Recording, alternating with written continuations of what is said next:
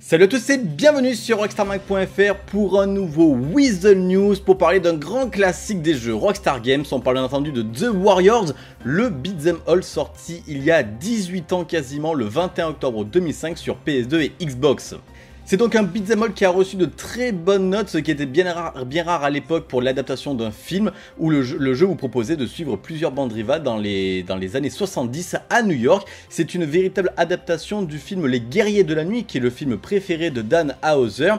Et donc ce jeu a marqué les fans de la firme étoilée puisqu'il était quand même d'une grande qualité et euh, c'était une, adaptation fidèle du jeu au point où en 2006 Rockstar Toronto, les développeurs, ont travaillé sur une suite spirituelle qui s'appelait We Are The Mod et qui fut malheureusement annulée. Mais depuis la sortie du jeu, euh, ce dernier reste cher dans le cœur de nombreux fans au point où une pétition a été lancée il y a quelques années maintenant mais qui a été remise à jour il y a quelques semaines. Cette pétition c'est l'initiative de Jaden Tronton euh, qui a lancé une, pétition sur le site change.org pour demander à Rockstar de développer un remake de The Warriors sur PS5, Xbox Series X, Series S et sur PC. L'objectif est de recueillir 5000 signatures et on va dire qu'ils y sont presque, alors essayons de les aider un petit peu pour atteindre cet objectif, même si malheureusement on ne va pas se voler la face, cette requête a quasiment 100% de chances d'échouer, même si les 5000 signatures sont atteintes, puisque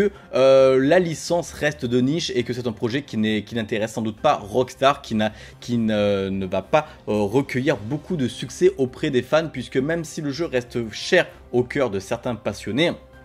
pour beaucoup, ça reste euh, un jeu parmi tant d'autres qui n'a pas fait non plus euh, les heures de gloire de Rockstar, bien loin, bien moins connu que GTA, Red Dead, Midnight Club ou encore Max Payne. Mais rien que pour voir en fait ce jeu animer encore le, cœur des fans 18 ans plus tard, on trouvait ça beau et on tenait à vous en parler. Et voilà, ça ne mange pas de pain d'aller quand même signer la signature, la, pétition pour au moins passer les 5000 euh, signatures. Ce sera symbolique, même si encore une fois, il y a très peu de chances qu'un jeu comme The Warriors puisse atteindre euh, cet objectif, même si on rappelle hein, qu'il y a déjà eu des pétitions qui avaient atteint plusieurs, plusieurs millions de signatures pour du Red Dead Redemption, qui elle aussi n'a pas vu le jour. Alors 5000 signatures, cela semble petit et infaisable, mais pour le geste et pour la beauté du geste, eh ben on vous en parle et euh, peut-être que vous aurez envie de signer cette, cette, pétition que vous retrouvez dans la description de la vidéo. C'est tout pour nous sur cette petite Weasel News sur cet ancien jeu Rockstar que vous aurez l'occasion de découvrir plus tard au cours d'un épisode de Rockstars Games, notre nouvelle série pour présenter